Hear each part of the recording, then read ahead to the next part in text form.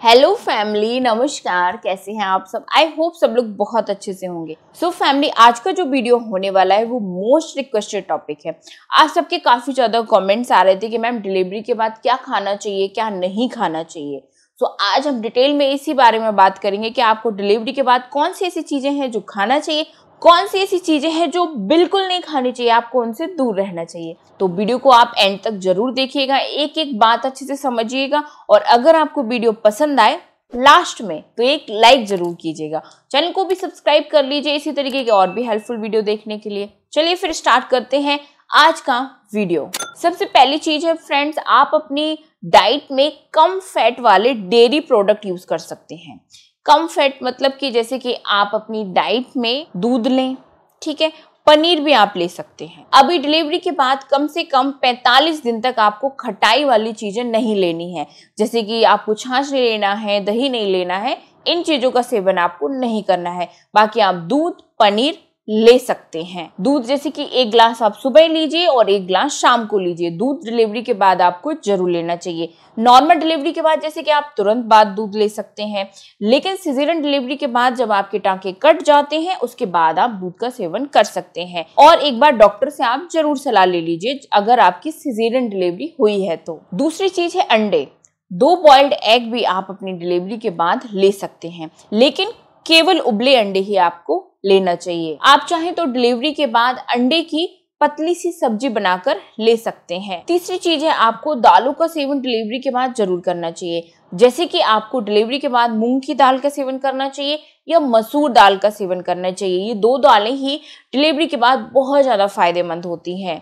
तो आप अपनी डाइट में, जैसे कि दाल के साथ आप दलिया का भी सेवन कर सकते हैं। दलिया भी बहुत ज़्यादा हेल्दी होता है डिलीवरी के बाद तो आप दाल के साथ दलिया ले सकते हैं, दूध के साथ भी दलिया का सेवन कर सकते हैं। इसके बाद हरी सब्ज़ियाँ भी आप खा सकते हैं।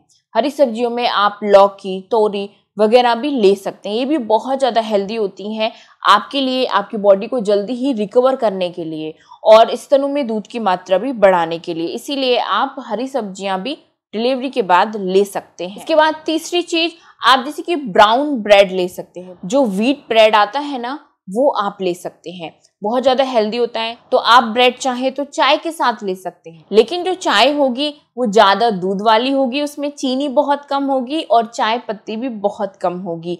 ऐसी चाय का आप सेवन कर सकते हैं। डिलीवरी के बाद आप ओट्स ले सकते हैं। ओट्स में भरपूर मात्रा में न्यूट्रिशन होते हैं, जो आपके बच्चे को भी मिलेंगे आपके ब्रेस्ट फ़ीड के ज़रिए और आपकी भी जो कमज़ोरी है डिलीवरी के बाद उसको दूर करेंगे। तो आप नमकीन ओट्स ले सकते हैं, आप ओट्स को दूध में पकाकर, फ्रूट्स डालकर भी ले सकते हैं। फ्रूट्स की बात हुई है तो ये भी बता दूँ कि आपको डिलीवरी के बाद कौन से फ्रूट्स लेने चाहिए। तो डिलीवरी के बाद आप फ्रेंड्स पपीता ले सकते हैं, आप चीकू ले सकते हैं, अगर सीजनेबल अगर अवेलेबल है तो नहीं तो आप एप्पल का सेवन भी कर सकते हैं डिलीवरी के बाद। और कोई फ्रूट्स आपको डिलीवरी के बाद नहीं लेना चाहिए। इसके बाद पानी अच्छे तरीके से आपको पीना है। आप चाहे तो जीरे का पानी पी सकते हैं, अजवाइन का पानी पी सकते हैं। ये दोनों चीज़ें ही आपके डिलीवरी के बाद बहुत जल्दी रिकवरी करेंगी, आपका ब्रेस्ट फ़ीड बढ़ाएँगी और पेट कम करने में भी मदद करेंगी। इसके बाद नेक्स्ट चीज़ है हल्दी। हल्दी को भी आप अपनी डाइट में इस्तेमाल कर सकते हैं। जैसे कि आप दाल खा रही हैं, कोई भी सब्ज़ी पतली सी बनाकर खा रही हैं तो उसमें हल्दी का सेवन तो करें ही करें, साथ में आप हल्दी वाला दूध भी ले सकती हैं। हल्दी एंटीबायोटिक होती है। अगर आपको प्राइवेट पार्ट में टाँके आए हुए हैं तो उनको जल्दी हील करने में मदद करती है। इसलिए आप हल्दी का सेवन भी अपनी डाइट में कर सकते हैं। नेक्स्ट चीज़ है अदरक का चूर्ण। अदरक का चूर्ण मतलब कि जिसको सौंठ बोला जाता है, उसके लड्डू भी बनाए जाते हैं। जैसे कि घर में अगर आपकी डिलीवरी के बाद लड्डू बन रहे हैं तो आप उसमें थोड़ा सा अदरक का चूर्ण भी मिलवा सकते हैं। ये भी डिलीवरी के बाद बहुत ज़्यादा फ़ायदेमंद होता है। आपके स्तनों में दूध की मात्रा को भी बढ़ाता है। आपकी बॉडी को जल्दी रिकवर करता है। इसके बाद चीज़ है बादाम। सुबह सुबह आप भीगे हुए बादाम ज़रूर लें। ये आपकी बॉडी को जल्दी रिकवर करेंगे और बच्चे के लिए भी फ़ायदेमंद रहेंगे। आप भीगे बादाम नहीं लेना चाहती तो आप ऐसे ही सूखे बादाम भी ले सकती हैं।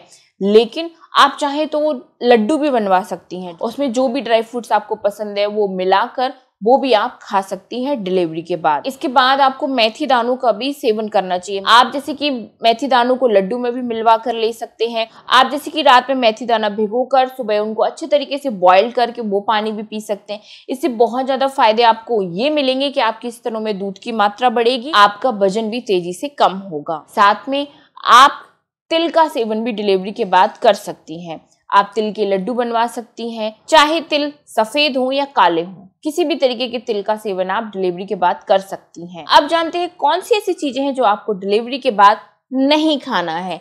तो फ्रेंड्स सबसे पहली चीज़ है कि आपको ज़्यादा मिर्च मसाले का खाना, ज़्यादा नमक का खाना, ज़्यादा मीठा डिलीवरी के बाद नहीं खाना है। इसके बाद दूसरी चीज़, ज़्यादा तेल वाली चीज़ें भी आपको नहीं खानी है। पूड़ियाँ, पराठे वगैरह ज़्यादा तेल में जो फ्राई होती हैं चीज़ें, उनका सेवन आपको नहीं करना है। इसके बाद तीसरी चीज़, ऐसी सब्ज़ियाँ, ऐसे फ़ूड जो ज़्यादा गैस बनाते हैं, उनका सेवन भी आपको डिलीवरी के बाद नहीं करना चाहिए। जैसे कि बैगन, अरवी, भिंडी, और जैसे कि उड़द की दाल, अरहर की दाल इन चीज़ों से क्या होता है कि गैस ज़्यादा बनती है? आपको जब गैस बनेगी तो आपके ज़रिए बच्चे को भी गैस बनेगी क्योंकि बच्चा आपका दूध पीता है। और आपको ठंडी चीज़ों से भी डिलीवरी के बाद दूर रहना है। ठंडी चीज़ें नहीं खानी है। खट्टे फल नहीं खाने हैं। खट्टी कोई भी चीज़ आपको नहीं खानी है। कम से कम चालीस से पैंतालीस दिनों तक। साथ में ज़्यादा कैफीन का सेवन भी नहीं करना है। थोड़ी थोड़ी कम चाय पत्ती वाली आप चाय ले सकते हैं, लेकिन कॉफ़ी का सेवन आप बिल्कुल ना करें, जब तक आपका बच्चा दूध पी रहा है। इसके बाद सबसे इम्पोर्टेंट चीज़, कुछ भी दिक्कत आपको होती है, आपको जैसे कि फीवर आ गया है, दर्द है, कुछ भी है, बिना डॉक्टर के पूछे हुए आपको कोई भी मेडिसिन नहीं लेनी है, क्योंकि आपका बच्चा आपका दूध पी रहा है, नुकसान हो सकता है, इसीलिए जब तक डॉक्टर से सलाह ना ले लें डिलीवरी के बाद आप कोई भी मेडिसिन खुद से ना लें।